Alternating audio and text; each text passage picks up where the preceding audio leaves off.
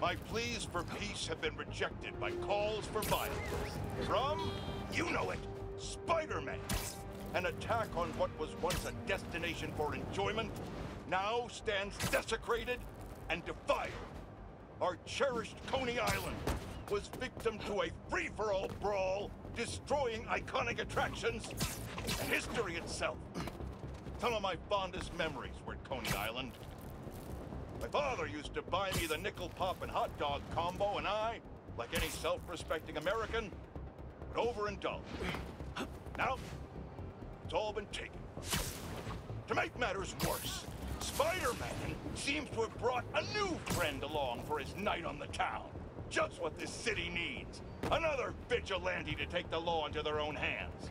One person wasn't enough for you to corrupt Spider-Man. You need two acolytes to do your bidding?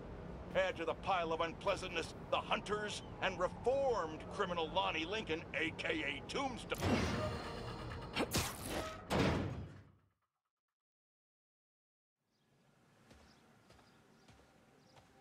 Hey! Hey, Pete! Watch this! Uh... Woo!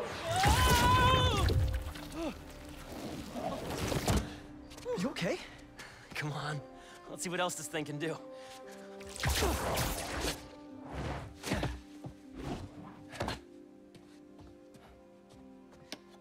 What are you doing? Science, buddy. I'm doing science. so, Spider-Man, you told MJ, but not your best friend? To protect you. I, I wanted to. Right. Yeah, I get it. And that kid you're tutoring, he's the other one? Uh, a lot happened while you were in that tank. Trust me. I know.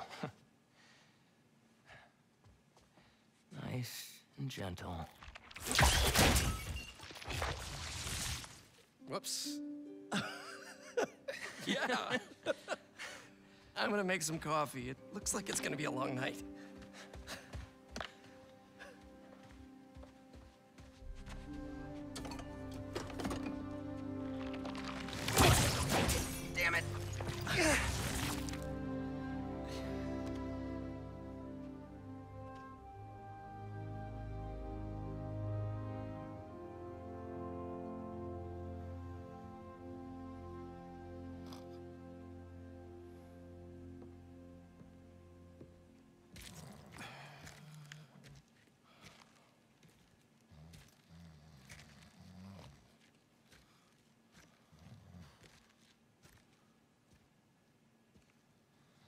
What the hell happened here? Um, we were we were just um, doing some experiments. Where's Dr. Connors? Uh, maybe he took the day off. No. He doesn't take days off. I'm gonna go. Yeah, yeah. I'll call you later.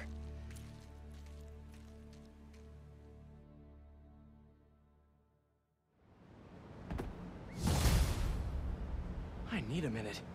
Harry's got superpowers? This is all happening so fast. Wait, what's that? Hey guys, I'm getting a strange spider-bot signal. You got that too? Uh, Ganke, you testing something?